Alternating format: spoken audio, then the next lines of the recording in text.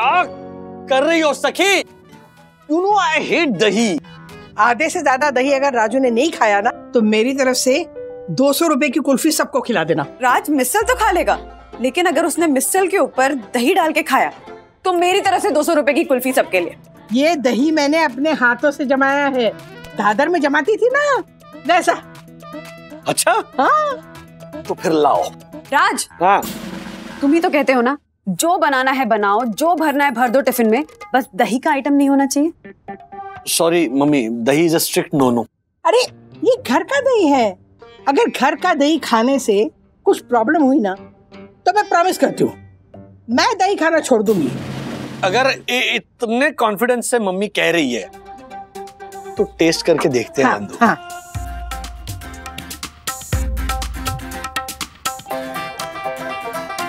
वाह!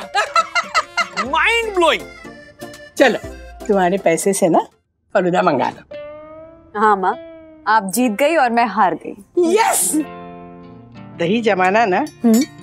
रिश्ते जमाने जैसे होता है।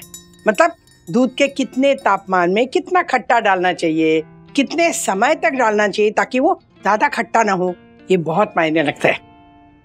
रिश्तों का भी वैसे ही होता है बेटा। जरा सा भी इधर उधर हो जाए ना तो रिश्ते भी खट्टे हो जाते हैं। इसलिए सबसे ज़्यादा ज़रूरी है समझदारी का जामन।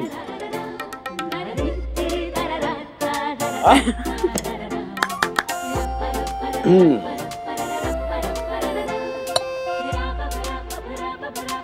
खाओ ये खाओ।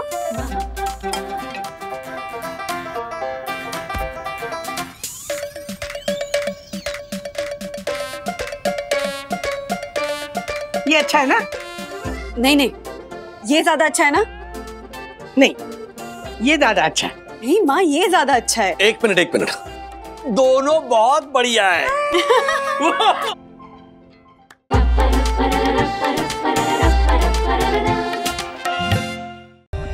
For more updates, subscribe to our channel, click the show links and enjoy watching the videos.